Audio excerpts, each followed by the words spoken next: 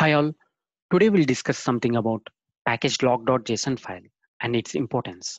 So if you observe the npm version from the npm version greater than 5.x.x, there would be one file automatically coming into our project hierarchy that is package lock.json file. Let's understand its purpose first. So before that, we need to address one problem Earlier to npm 5.x.x version, the source of truth would be package.json file. It means whenever I do npm install, it comes to the package.json file. It will pick each and every dependency with the semantic version mentioned here, and it will download this dependency. Not only this dependency, all the interlinked dependencies for these dependencies would be downloaded and would be reside in the node modules. This would happen in general. So coming to semantic versioning. So I have done a dedicated video on this semantic versioning. I would mention that in the description, please watch it. So in brief, I will explain what is the semantic versioning. So any of the dependency will have these three things. Like number one would be the major. It tells us the major release number. The number two would be the minor. And number three would be the three, third digit would mention about the bug fixes. Along with these three, there would be some symbols like cap and tilde operators. This, this tells us when this tells npm to install the any of the latest versions of minor and bug fix. So as it tells to install any of the current major versions or re current releases of minor and bug fixes.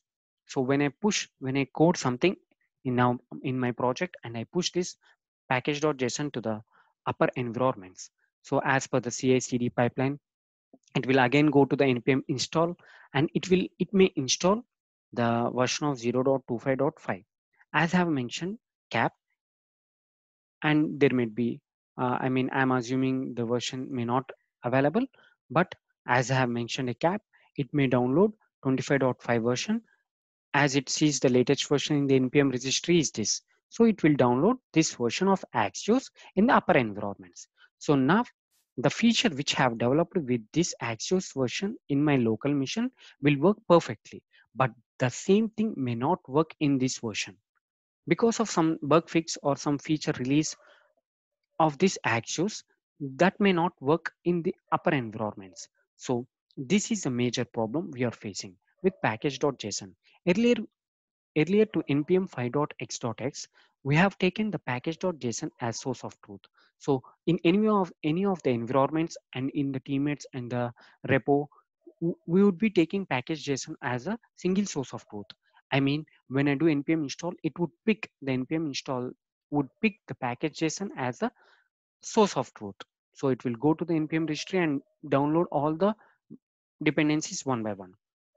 As we face this problem, I mean, two different versions for two different people and the feature may not work same exactly in for both of them. So that was a problem we are facing. The package.lock.json, how it is going to resolve this problem means, so from now we will be taking package lock.json as the source of truth.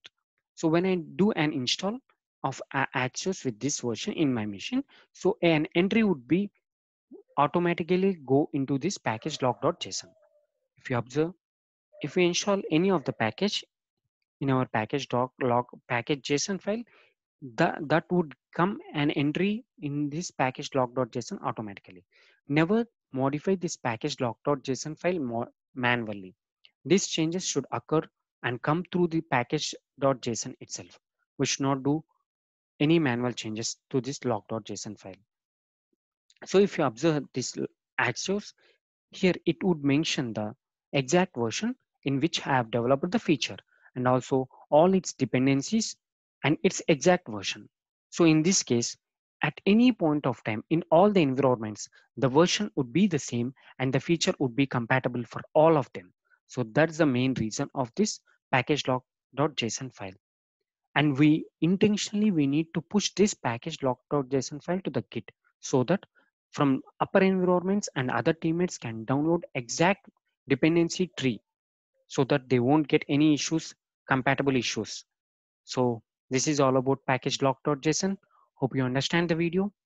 Thanks for watching.